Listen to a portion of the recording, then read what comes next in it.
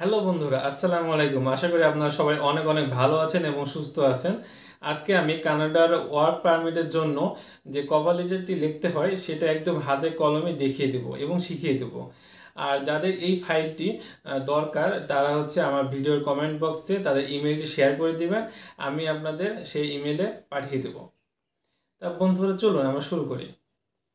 প্রথমে বন্ধুরা আপনারা যখন কানাডাতে ওয়ার্ক পারমিটের জন্য আবেদন করবেন, তখন কিন্তু আপনাদের জন্য দুটো জিনিস খুবই গুরুত্বপূর্ণ। একটা হলো হচ্ছে কভার লেটার এবং আরেকটি হলো রিজিউমি তা বন্ধুরা, আজকে আমি কভার লেটার নিয়ে আলোচনা করব।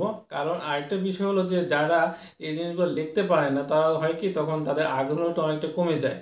আর তারপরে তারা করে যারা এজেন্সির মাধ্যমে তাদের এজেন্সি শরণাপন্ন হয়। তখন সেই এজেন্সিগুলো কিন্তু বেশি একটা কাজ করে না। তারা খালি করে কি, যে ইমেল মানে রিজুমি এবং কভার লেটার তৈরি করে বিভিন্ন প্রতিষ্ঠানে পাঠিয়ে দেয়। আর এই কাজটি যদি আপনি যদি নিজের হাতে যদি করতে পারেন, তাহলে বন্ধুরা ক্ষতি কি, তাই না?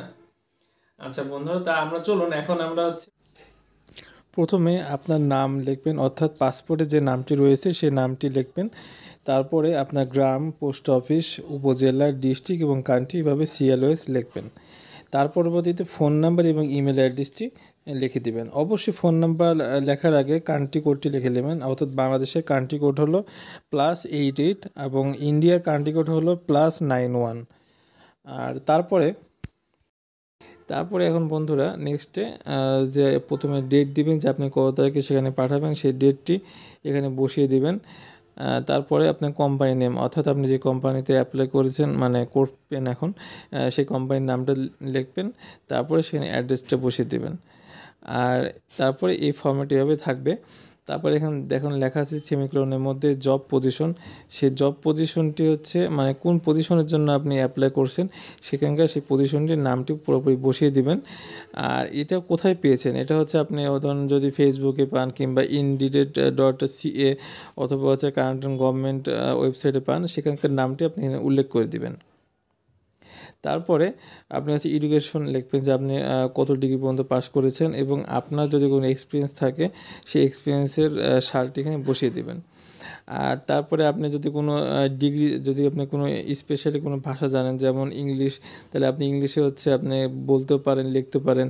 আর যদি অন্য কোনো ভাষা জানা থাকে, যেমন ফ্রেঞ্চ ভাষা কিংবা জার্মানি ভাষা, তাহলে সেটাও এখানে উল্লেখ করে দেবেন।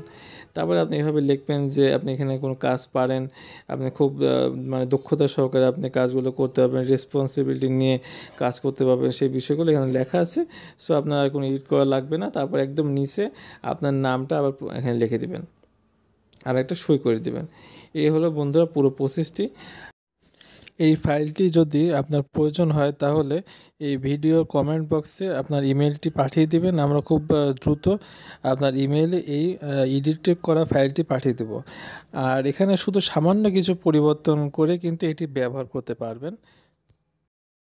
হচ্ছে। বন্ধুরা, আশা করি আপনারা এই বিষয়গুলো বুঝতে পেরেছেন এবং পরবর্তীতে আপনারা নিজেরাই করতে পারবেন। তাই বন্ধুরা, দেরি না করে আপনাদের হচ্ছে ইমেল আমার সাথে, আমার ভিডিও কমেন্ট বক্সে শেয়ার করুন। আমি আপনাদের খুব দ্রুত সময়ের মধ্যে আমরা পাঠিয়ে দেবো।